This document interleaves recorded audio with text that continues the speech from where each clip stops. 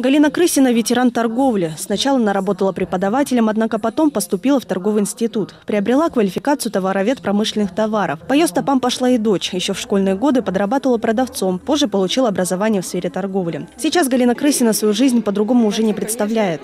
Очень довольна, что мы торговые работники, что с людьми были постоянно. Мы шли на работу как на праздник нужно было и красиво одеться, и внимательным быть. Вот это самые хорошие, самые главные черты, что доброта, улыбка, честность. Торговля – один из важнейших видов экономической деятельности, от которой во многом зависит благосостояние страны, региона, города. На торжественном мероприятии напомнили, что Бердск в своем развитии во многом обязан человеку, связанному с торговлей, а именно купцу Горохову.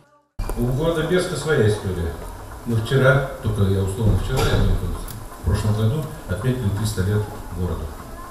И опять у истоков этой истории опять был человек, который был связан с торговлей, купец Горохов, да?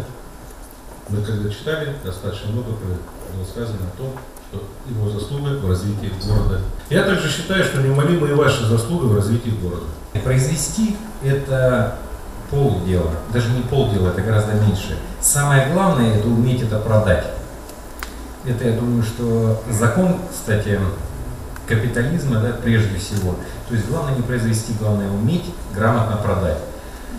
Поэтому я хотел бы пожелать вам, э, самое главное, чтобы в вашей жизни были только добрые воспоминания о вашей профессии, чтобы вам попадались добрые и денежные покупатели, в юбилейный для Новосибирской области год виновники торжества получили медали. На сцене городского дома культуры награды вручили 15 тиберчанам, работникам сферы торговли. Праздничный вечер продолжился творческими номерами.